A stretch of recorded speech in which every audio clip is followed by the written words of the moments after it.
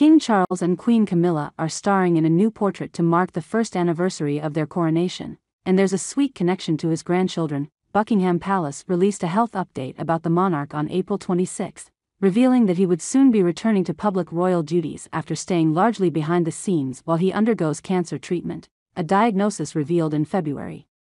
The announcement was accompanied by a new portrait of the King, 75, and Queen, 76, to mark a year since their coronation on May 6.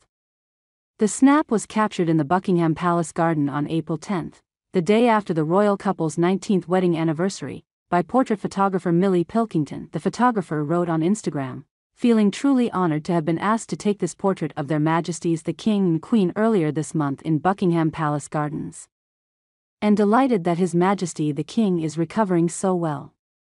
While this is the first time an image of King Charles and Queen Camilla was credited to Pilkington, they aren't her first royal subjects. Just last year, Pilkington was the photographer for the official pictures released to celebrate the birthdays of Kate Middleton and Prince William's three children Prince George, Princess Charlotte, and Prince Louis. Pilkington also got behind the camera for the sweet photos of Prince William surrounded by his kids that were released to mark Father's Day in 2023. Pilkington described herself on her website as a portrait photographer with a passion for photographing children, making her a perfect fit for snapping the Prince and Princess of Wales' little ones.